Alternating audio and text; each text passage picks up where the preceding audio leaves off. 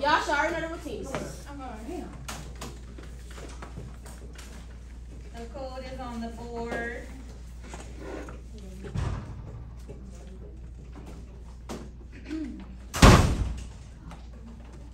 That's wrong. This says mine's wrong. Oh, never mind.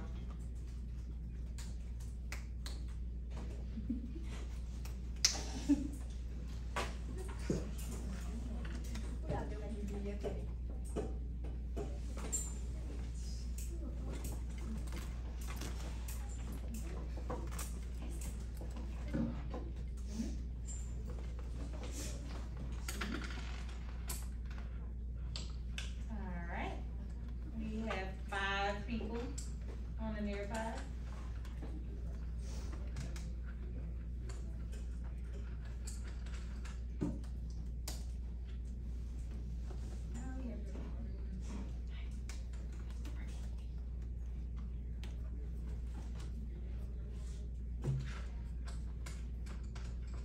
Lane, Brian, Chris, Chris, Genesis, Leah, Michaela, uh, Yanni and Kuya, y'all working together again? Alright.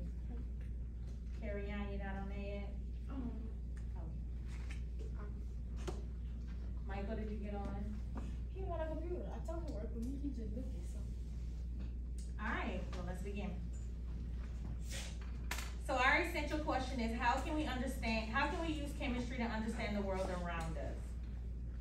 So by the end of this lesson, you will be able to explain the difference between acids and bases, explaining the key characteristics of each. So today we're going to observe a chemical reaction to experience acids.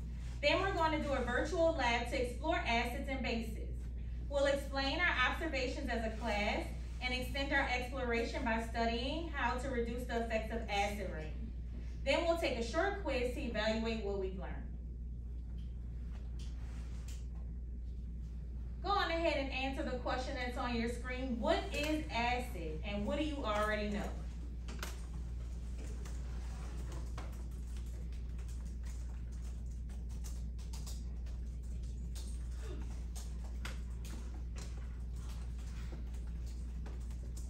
Yes and I. They kicked me off. They kicked me They kicked everybody off. Uh, it's probably because of GoGuardian. Just get right back on. The code is right up there. I'll give y'all some more time.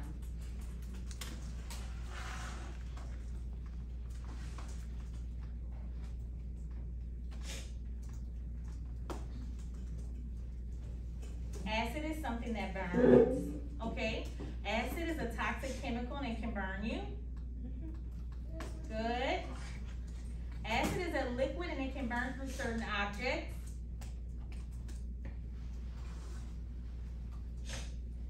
Acid is a toxic chemical, good. Listen. Yeah. Before I put it, just acid is um some no acid is um. Just put what you Better? think.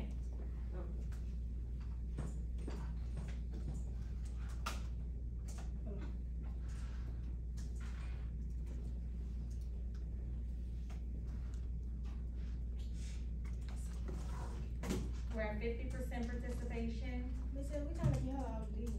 Okay.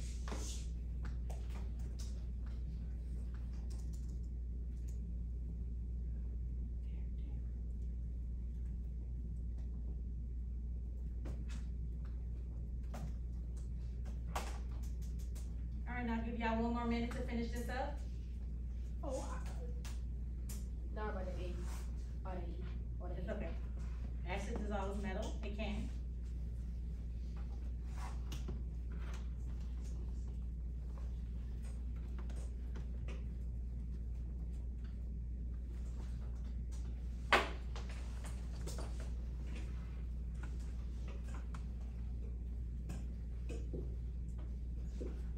Can I, can I put, um, acid is a toxic molecule that burns? Yes.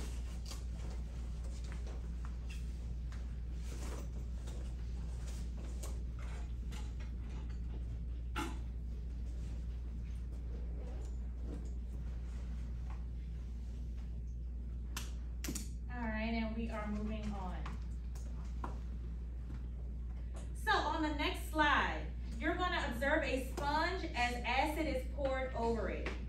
I want y'all to think about what you think will happen to the sponge. So let's think about that for a second.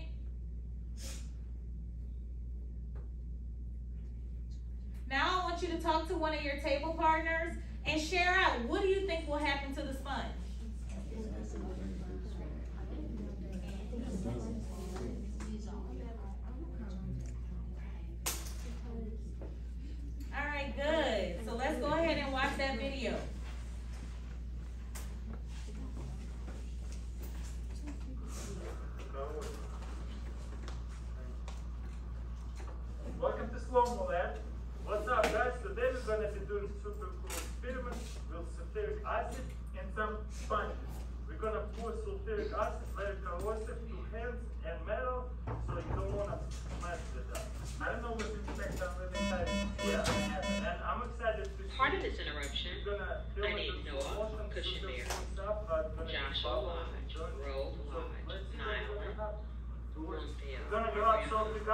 Pour it on the sponge. Robin Spears, report to the office at this time. See how hot it is in the, even the place?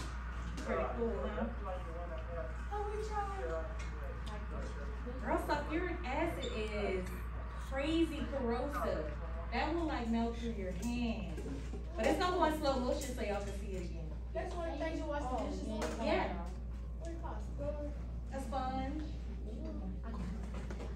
Look at how in slow motion what it does.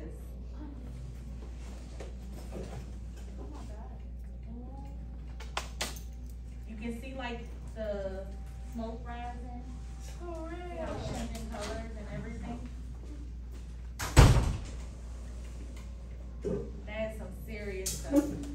And like that bottle that it's in, it's made out of Teflon. Teflon can hold sulfuric acid. So you can't even put that in like a regular plastic bottle, it's gonna melt straight through it. You have to have like a Teflon one. That's great. Mr. Brown, you glass. It can, yeah. My guess is. Yeah. How were they able to put the acid Alright, what do you guys it? think? Because they have these special stuff. Put it on the hands anything like that. Yeah, if you have more ideas for us to film with slow motion, let us know in comments below. And it's cool, let's try it, right? Absolutely. Well, check out our other videos. Don't forget to subscribe and rate our video, like it, thumbs up. Alright, go on ahead and answer this question. What happened to the sponge when acid was poured on it and why? Why do you think that happened? How do you spell this? D I S S O L V E. Oh, Mhm. Type something out for me. D I S S O L V E.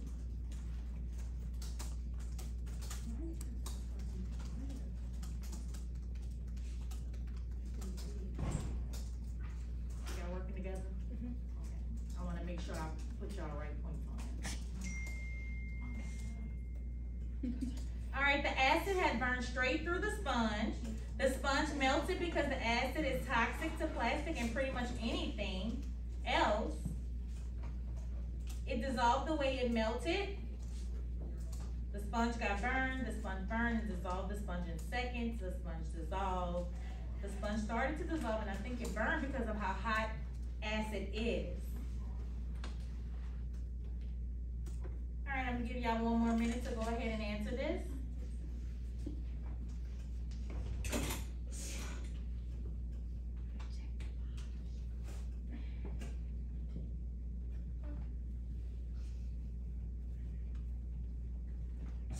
And we can move on. So, the opposite of acidic is basic. So, have y'all ever heard of a, a pH scale? Anybody familiar with pH? Kind of? It's like the local. Okay, so on the pH scale, in the middle is seven, which is neutral. So something like water would be neutral. Anything under seven is acidic, and anything over seven is basic. Basic is the opposite of acidic, okay? So let's explore. On the next slide, we're gonna do a virtual lab to explore acids and bases. You will have an opportunity to guess if different liquids are acids or bases, then test your guesses. Pay attention to what happens if water is added to an acid or a base. So this is what it's gonna look like, okay? So what you can do is, this is like a little cup when this drop down thing is pulled up. It's like a cup. And you can pour whatever one of these substances you want into the cup and you drag this green thing over to the cup and it'll read the pH. Okay, so here's a reminder of the pHs. Acidic is under seven, basic is over seven, alright? So we wanna get over seven. Uh, it doesn't matter. There, there are different pHs for different liquids.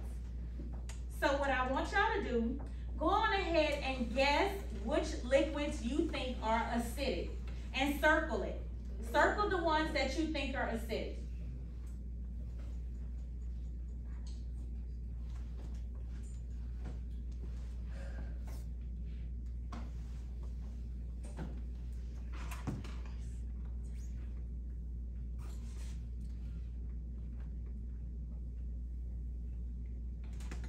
Can it be multiple? Yes.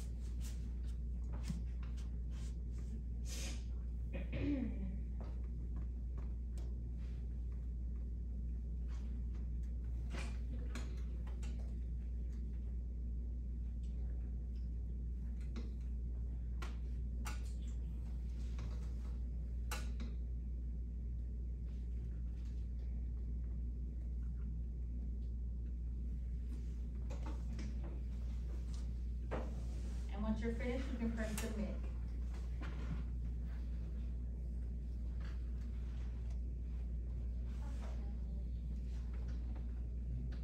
This is just guessing. I tried. There's no right or wrong. It's just guessing, because we're gonna test it out.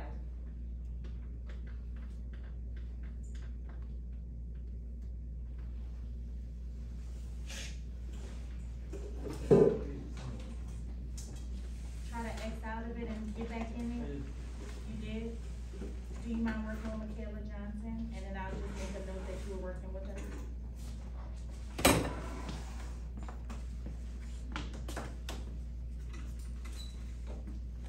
Alright, and let's move on.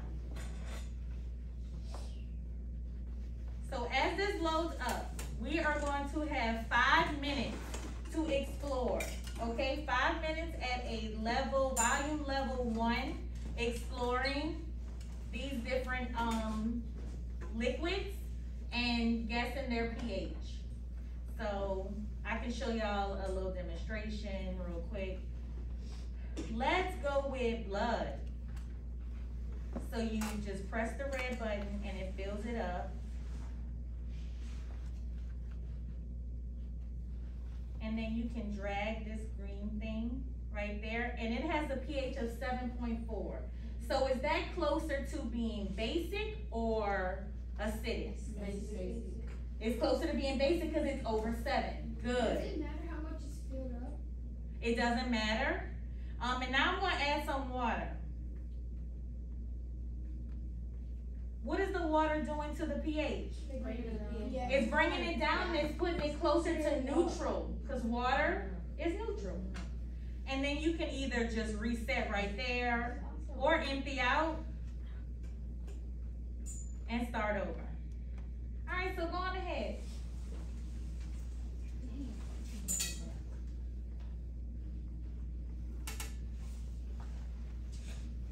And I'll be doing some up here as well. Let's look at vomit.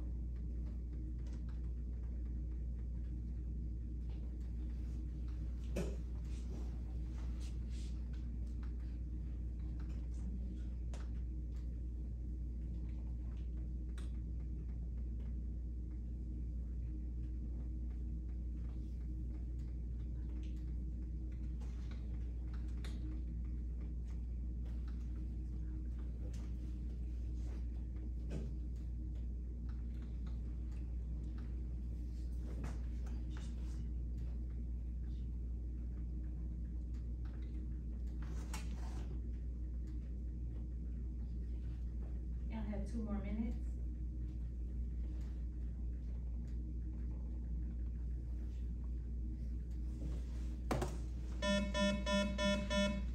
Darian Thomas, please come to the front office for checkout.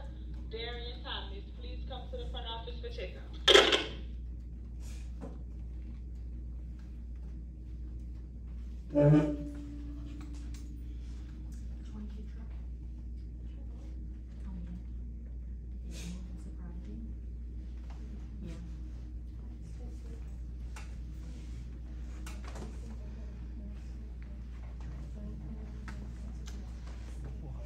Drain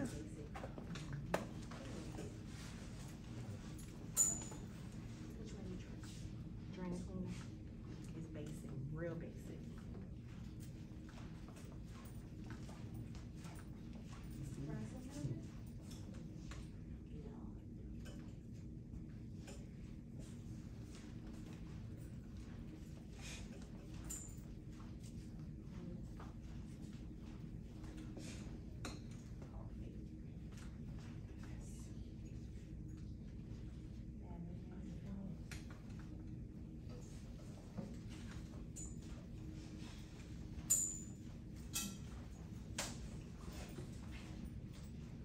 Alright, y'all, we gonna go ahead and move on. So let's explain what we observed. Go on ahead and type in, what did you observe during the simulation?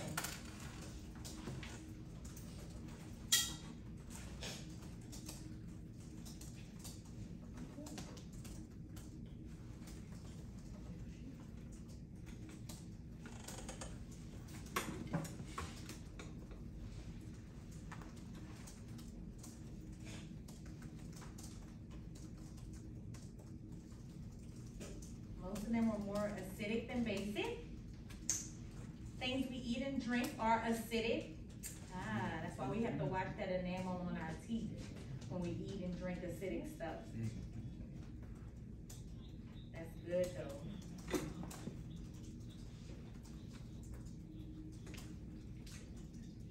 I observed that these liquids in which I thought would be more basic were acidic, yeah.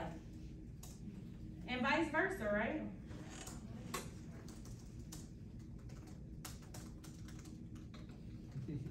I observed that when you add water to whatever substance you observed, it becomes more neutral. Good. That is correct. Acid and how it can burn through stuff. Okay. When you add water to it, it goes up. There were more acidic than basic. All right, in thirty more seconds to get your thoughts in.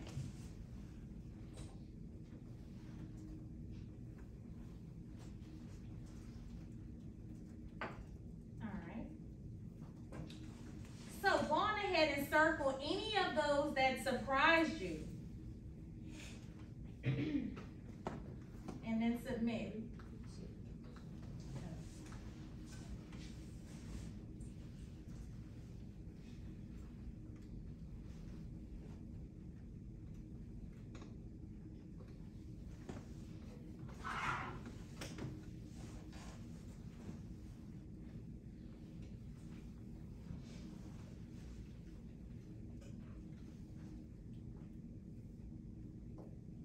And I'll give y'all one more minute.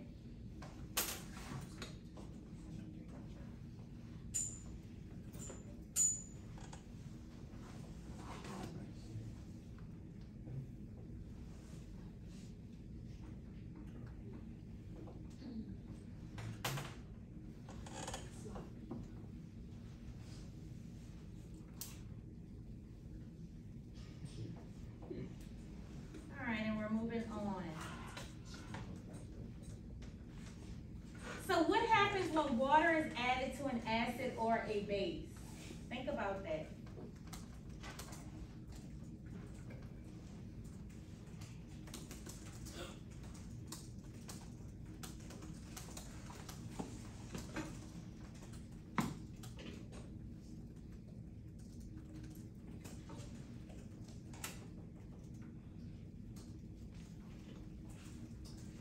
It becomes more neutral.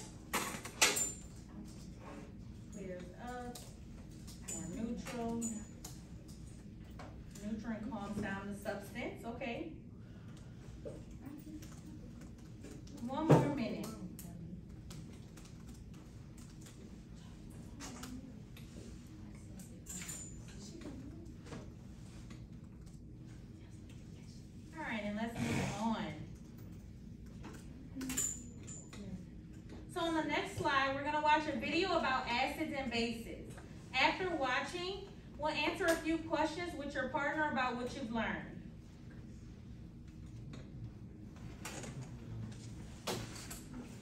And I want y'all to pay, uh, special attention to when they talk about protons, right? So protons are positively charged, and they're located in the, Nucleus. the nucleus, good. They're gonna talk about protons and electrons, actually. Acids and bases are everywhere. They're used to make foods, soaps and detergents, fertilizers, explosives, dyes, plastics, pesticides, even paper. Our stomachs are very acidic. Our blood is slightly basic.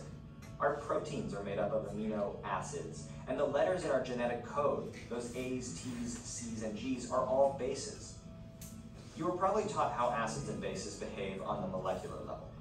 You were probably never taught that a long time ago, like ancient Greek ago, before anyone knew about atoms or molecules, acids and bases were defined by how they behaved. Acids tasted sour and corroded metal. Bases felt slippery and could somehow counteract acids. When molecules dissolved in water interact, they're exchanging two main currencies with their surroundings. Protons, also known as hydrogen ions, and electrons. Depending on how a molecule is composed or shaped, it may be willing to donate or accept either protons or electrons with some other community member. And some molecules are far more aggressive than others when it comes to donating or accepting either currency. Remember that protons are positively charged and electrons are negatively charged. So if a molecule is willing to give up a proton, that's not too different from it being willing to accept an electron.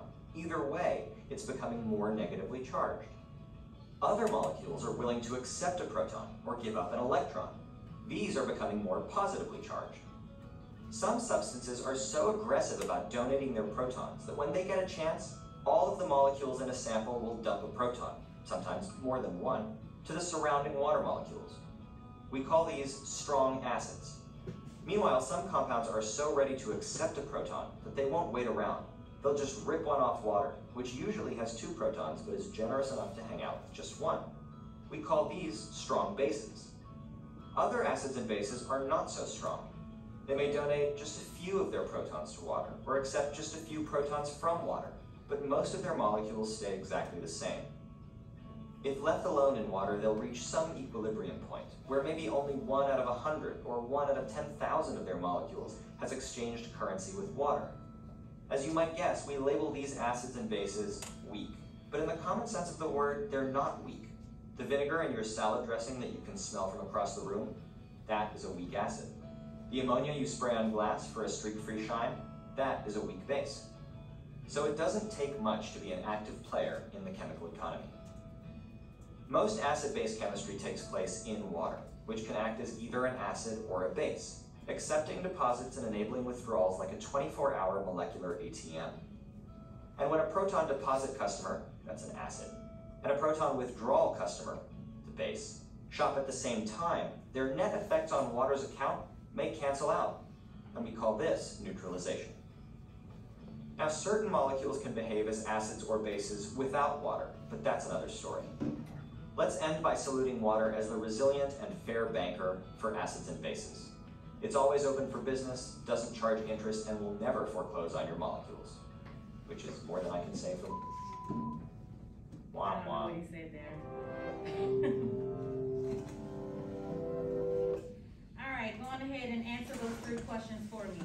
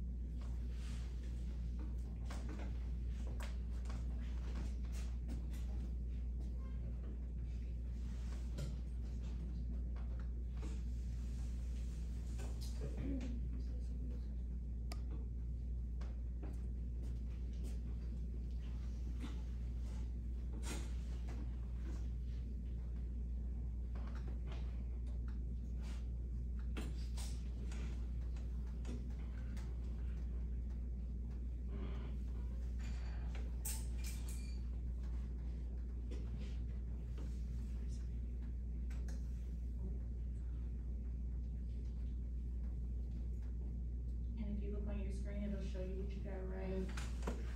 Um,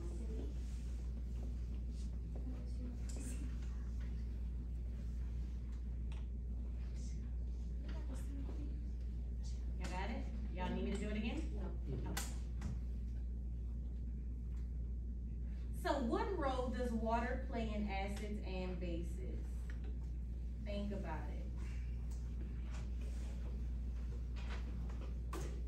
What role does water play in acids and bases? It's a word that starts with an N.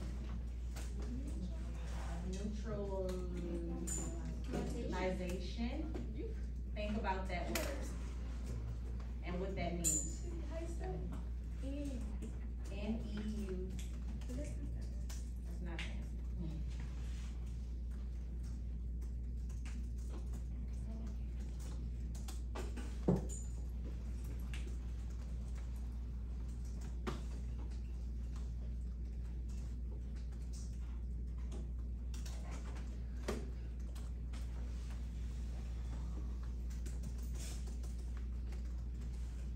It neutralizes them, good.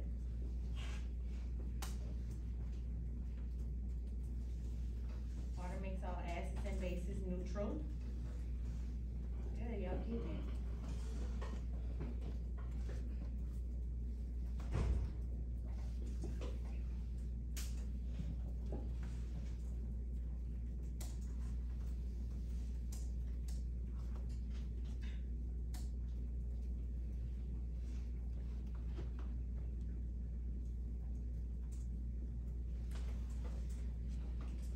And I'll give y'all one more minute.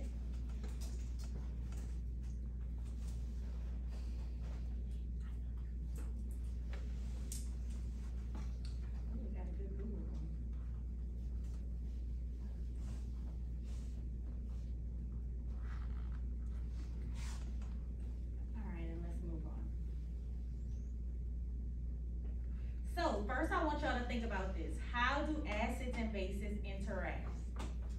Think about it.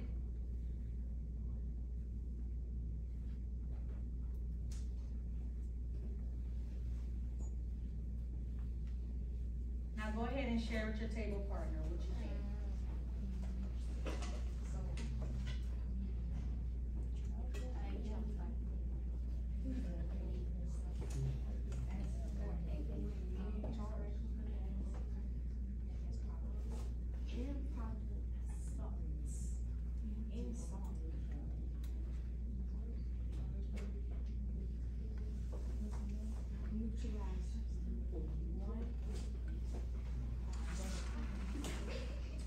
Alright.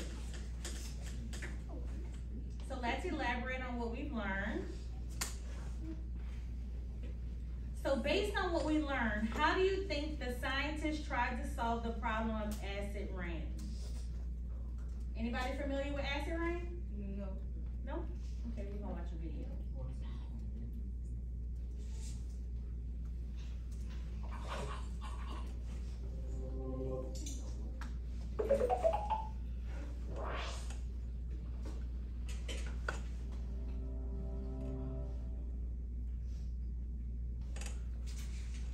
Acid rain is a very dilute solution of nitric and sulfuric acids with a pH of around 4.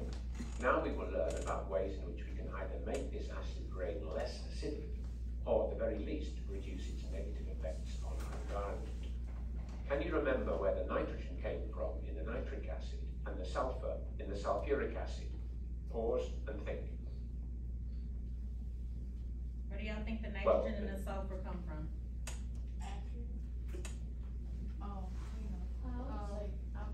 From clouds? What's in our atmosphere? Air. What kind of, what's in the air?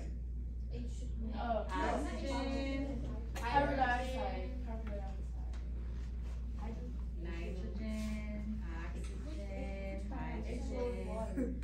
Okay. Nitrogen came from the combination of atmospheric nitrogen and oxygen in Nitrogen, the and cylinders of motor vehicles. And the sulfur, when fossil fuels containing sulfur are burnt, particularly in our power stations. Let's look at power stations in Europe. For many years, these stations have been using tall chimneys to disperse the sulfur dioxide far away, thinking that dilution was the solution to pollution. However, the acid did not get diluted, but instead was carried in the wind to Scandinavia, where it fell into Swedish lakes. Originally, people tried to neutralize the acidity by adding limestone to the lakes. This was partly successful.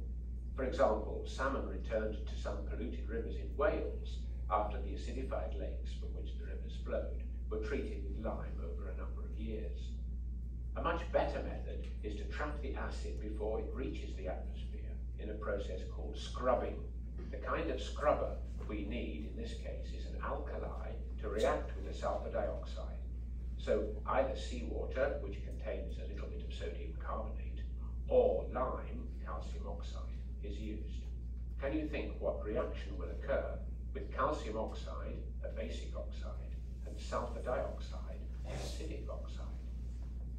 What do y'all think is gonna happen with a, a basic oxide and an acidic one when they come together? If something's basic and something else is acidic, It- It's gonna become neutral. it can become neutral, maybe. Calcium oxide plus sulfur dioxide makes calcium sulfite, that's CaSO3. The sulfite can be reacted with oxygen to make gypsum, calcium sulfate, CaSO4, which is the main ingredient of wall plaster. These scrubbers have greatly reduced our sulfur emissions and given many countries much cleaner air. But it does reduce the efficiency of the power station, maybe by as much as 10%, thus increasing the cost of the electricity. Alright, I think we could go ahead and. Go on ahead and answer that question. What is the problem of acid rain and how do you think it could be solved?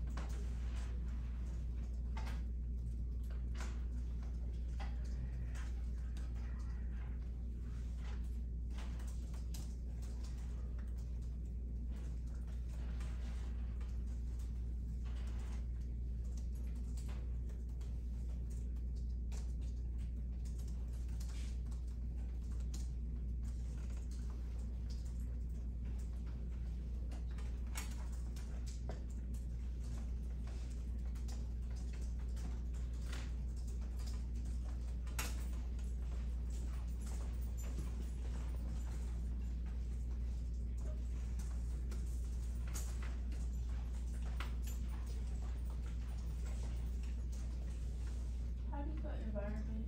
E N V I R O N M E N T.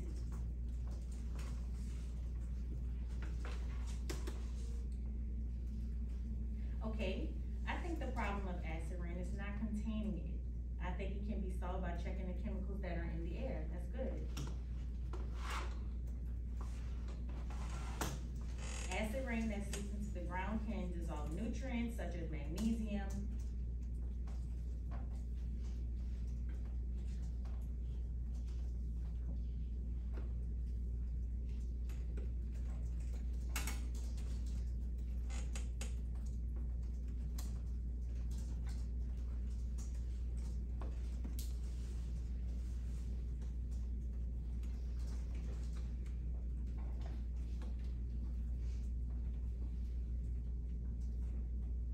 Can go into rivers and lakes and damage the water animals environment. I believe it can be solved by treating the air and checking the pH of lakes often. That's good.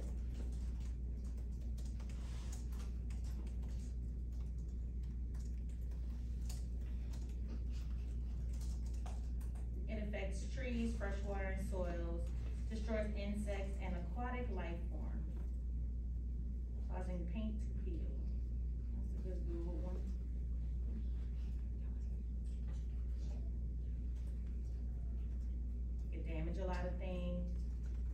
got one more minute to finish up.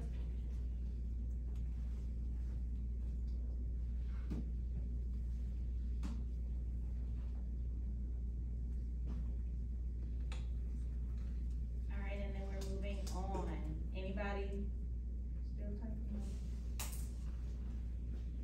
All right, let's evaluate what we learned.